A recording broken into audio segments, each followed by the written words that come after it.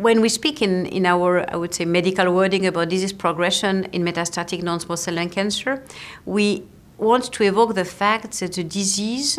is growing. It can be in the organs where it stands already, but it can be also spreading over in other organs, typically the brain, the bone, for example, meaning that the disease is biologically active,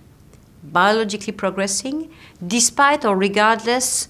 the treatment you are giving or the attempt you are doing to treat the disease. So it means for the doctors that you give a drug, and the drug is,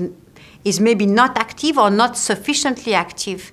to prevent the disease to spread over. So that you probably have to change now or later to avoid the disease to, to get uh, to be more important in the, in the body and to weaken your patient.